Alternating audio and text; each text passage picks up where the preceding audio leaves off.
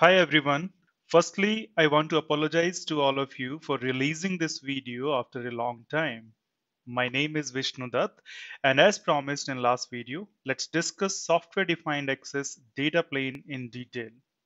SDAccess data plane is based on VXLAN encapsulation and to understand VXLAN, let's compare it with legacy networking technologies.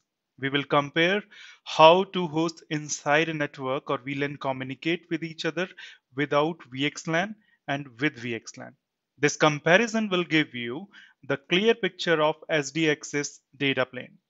As you can see, we have divided the screen with two pictures, this one and this one. On this side or on left hand side, we will see how host A and host B inside a same VLAN 10 communicates with each other without using VXLAN. We will compare this scenario with VXLAN scenario on this side. Okay. First of all, let's understand this topology. Host A and B are part of VLAN 10 and connected to port 0 slash 1 of the access switch 1 and switch 3. All these links are trunk links this one, this one, this one, all are trunk links. Okay. These switches are core switches and we have collapsed core design. Okay, guys? Yep, we are good. Host A initiates a ping towards host B. By looking at the IP addresses of these two hosts, you can easily figure out that both of them belong to the same subnet. Let's draw the packet. Source address of this packet will be 192.168.56.11 and the destination address of this packet will be 192.168.56.12. Host A needs to create layer 2 header also so that it can forward this packet over this interface, right? Uh, this interface.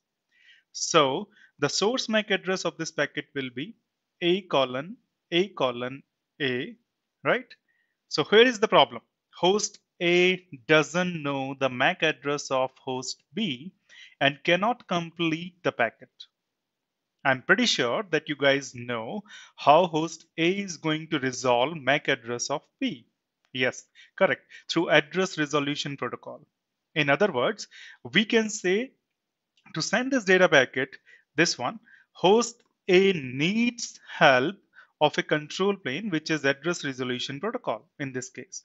My last statement was very crucial in understanding VXLAN. Okay. Host A will save this packet into its memory and initiates an ARP request packet, which will help host A to resolve MAC address of host B. So how does an ARP packet look like? Let's draw it. So our packet consists of sender MAC address, sender IP address, target MAC address, and target IP address. So it is shown here. Okay. Hence, through address resolution uh, uh, packet, host A is simply asking what is the MAC address associated with IP address 192.168.56.12. To send this ARP request, also, host A needs to create layer 2 frame, right? Hence, a L2 header is slapped with source address of A colon A colon A and destination address of all Fs. All Fs represents a broadcast layer 2 address. Now, ARP broadcast packet is complete and host A can send it over this interface, this one. When switch 1 receives this ARP broadcast, it creates an entry into its CAM table and this entry will have VLAN number as 10, interface as 0 slash 1 and MAC address as A colon A colon A which means host A is part of VLAN 10 and is reachable over interface 0 slash 1. Switch creates its CAM table on the basis of source MAC address. This is standard switching, correct?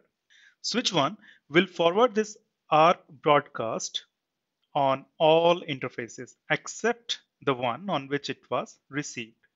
This is the one on which it was received. So switch 1 will won't send this packet over this interface. Hence, switch 1 will forward the ARP request over this trunk interface only, right?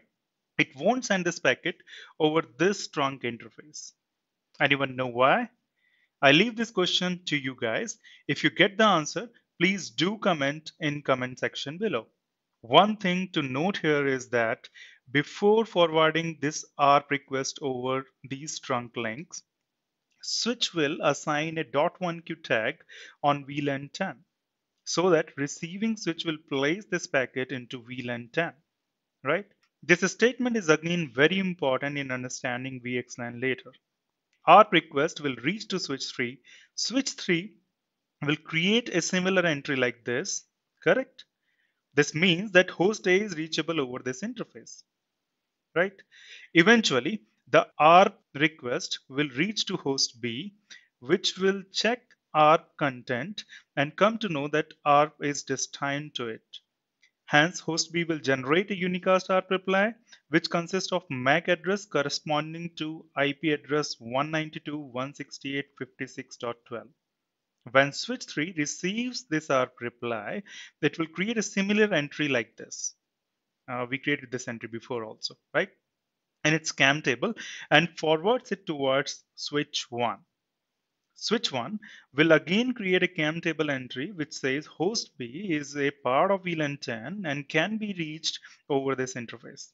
ARP reply will eventually be reaches to host A. Now host A can complete this ping packet, this one, and can send it out, right? This way, hosts inside a same subnet can communicate with each other. Guys, be with me. All of these basic concepts are really very important in understanding VXLAN technology. My firm belief is that if you have firm understanding of basics of networking, you can easily learn new concepts. Now, let's discuss how to host in a same subnet communicates in a VXLAN environment. To do this, let's understand the changes in right hand side topology. All these links, these one, are now layer 3 links. This one is L3, this one is L3, L3, L3, right? Because these links are L3, the switch cannot put .1q VLAN information and also cannot forward ARP requests, right? Another change in the topology is that I have created a loopbacks on all these switches. For example, loopback 10.0.0.1 slash 32 is present on switch 1 and 10.0.0.2 slash 32 is present on switch 3 all L3 interfaces are running OSPF routing protocol and we have advertised all these loopbacks in OSPF. Hence, switch 1 knows how to reach loopback of switch 3 and switch 3 knows how to reach loopback of uh, switch 1. Correct? It's a, it's a simple routing. So we are, we are good so far. Let's begin.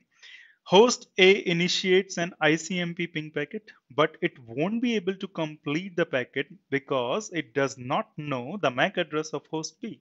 As explained previously also, it will create a ARP request broadcast packet and send it towards switch 1. Here is the ARP broadcast packet. Uh, this one.